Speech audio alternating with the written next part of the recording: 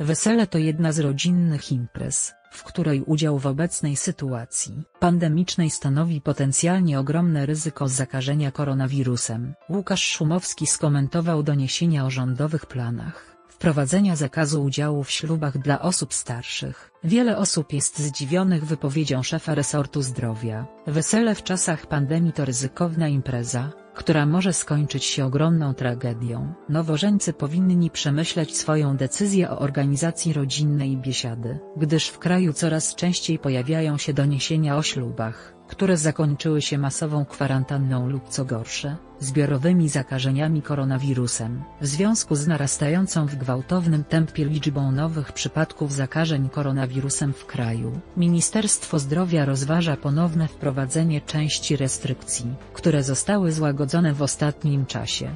Obostrzenia dotyczą m.in. organizacji wesel. Nowe ogniska koronawirusa w Polsce coraz częściej mają źródła właśnie podczas tych rodzinnych imprez. Wiceminister rozwoju Olga Semeniuk rozmawiała niedawno w Rzeczpospolitą o możliwości wprowadzenia zakazu udziału w weselach dla osób starszych w celi zapewnienia im bezpieczeństwa. Wiemy, że każda rodzina chciałaby w możliwie najszerszym gronie bawić się na weselach, ale jeżeli możemy ochronić życie i zdrowie babci i dziadków, wprowadzimy zakaz uczestnictwa w tego rodzaju imprezach dla seniorów, zapowiadała Olga Semeniuk. Doniesienia te skomentował minister zdrowia, Łukasz Szumowski. Szef resortu przyznał, że takie ograniczenie jest trudne do zrealizowania. Rząd nie ma w planach wprowadzenia takiego zakazu, jednak apeluje do seniorów o rozwagę i czasowe ograniczenie przebywania na weselu, wśród potencjalnie zakażonych koronawirusem bliskich. Słowa ministra zszokowały wiele osób.